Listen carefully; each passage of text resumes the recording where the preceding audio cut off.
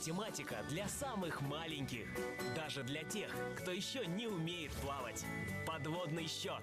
Премьера на канале Карусель.